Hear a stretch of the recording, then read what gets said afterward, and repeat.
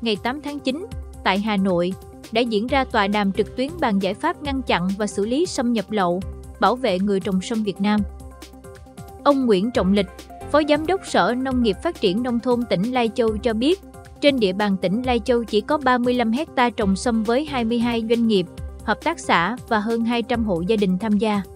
Đến nay, sâm Lai Châu chưa được bán đại trà, nhưng trên thị trường lại có rất nhiều sâm nhập từ Trung Quốc về Việt Nam lấy tên là sâm Ngọc Linh, sâm Lai Châu.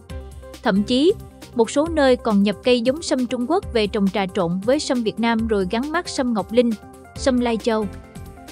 Trên thị trường hiện nay, giá sâm Ngọc Linh chính gốc loại một lên đến hơn 300 triệu đồng một kg. Sâm Lai Châu cũng có giá trên 120 triệu đồng một kg. Cơ quan chức năng đã nhiều lần phát hiện tình trạng nhập lậu sâm không rõ nguồn gốc từ Trung Quốc về Việt Nam, trà trộn rồi mạo danh sâm Ngọc Linh, sâm Lai Châu để bán với giá rẻ hơn sâm chính gốc vài chục lần.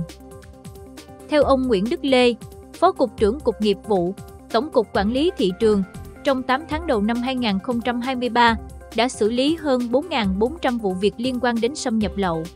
Cơ quan chức năng không chỉ phát hiện nhiều cửa hàng bán sâm không rõ nguồn gốc mà còn phát hiện thêm nhiều sản phẩm bánh kẹo, mỹ phẩm, dược phẩm mạo danh nguồn gốc sâm Ngọc Linh, sâm Lai Châu.